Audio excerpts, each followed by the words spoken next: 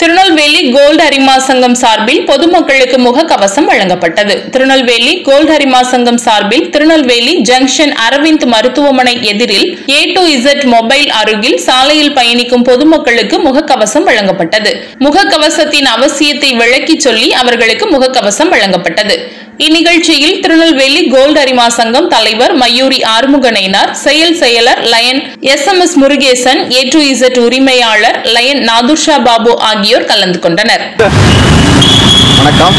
Tirunelveli gold அரிமா சங்கம் சார்பில் இன்று நாம் பொதுமக்களுக்கு முகக்கவசம் வழங்கினோம்.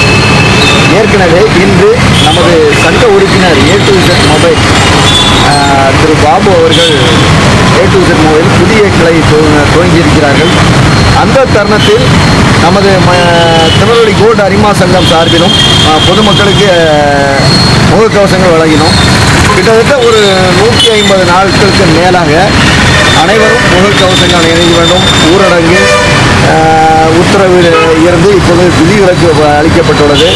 பொதுமக்கள் அனைவரும் அரசு தனது சட்டத்திட்டங்களை சில விஷயங்களுக்கு தளர்வு செய்தாலும் நாம் பாதுகாப்பாக இருக்க வேண்டும் என்று அனைவரும் சாலைகளும் பொதுமக்கள் அதிகமாக கூடும் இடங்களிலும் முகக்கவசம் அணிந்து செல்ல வேண்டும் என்பதை வலியுறுத்தி திருநெல்வேலி கோல்டு அரிமா சங்கம் அவர்களை முகக்கவசத்தின் அத்தியாவசியத்தை வலியுறுத்தி இன்று முகக்கவசம் வழங்கினோம்.